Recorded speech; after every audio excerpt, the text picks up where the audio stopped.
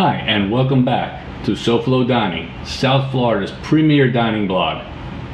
This week we're going to talk about Seaside Grill, located in Lighthouse Cove Resort in Pompano Beach, Florida, at 1406 North Ocean Boulevard in Pompano, just blocks from the 14th Street Causeway. They offer $3 valet parking, or you could park right across the street for free. I came across this place about 10 years ago on the 4th of July, where I was looking for somewhere to eat on the beach where I can see the fireworks. They were on OpenTable, which they still are now. I made my reservations and had a dinner that I couldn't forget. I've been back numerous occasions and I've never been disappointed. The food is top quality, the service is top notch. You will not be disappointed. As you enter Seaside Grill, you are immediately treated to a beautiful view of the blue sky, the beautiful Atlantic Ocean, the lush palm trees, a pristine pool, and a lively tiki hut bar. Seaside Grill is in our neighborhood and is so welcoming that we find ourselves visiting often and bringing friends and family with us to share the beautiful view and friendly service. They are always updating the menu and keeping things modern. Recently, they added quinoa bowls, which my favorite is the grilled shrimp quinoa.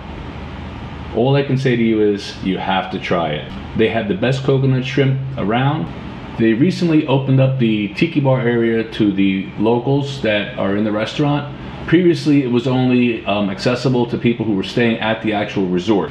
I opted for the chichi, which is a pina colada made with vodka instead of rum. It was a good pour. Danny had a Jack and Coke and commented to me that the drinks came out so fast that it felt as if our drinks were crafted immediately the moment we walked in the door. Talk about efficient service. They are on OpenTable. They usually have very good Groupons available. My recommendation would be the Baja Taco Salad. It's a masterpiece on a plate. You will not be disappointed. There's plenty of food on that plate.